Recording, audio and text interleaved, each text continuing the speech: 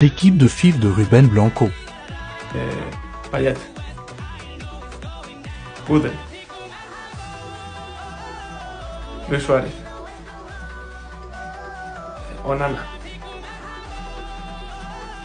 Milik.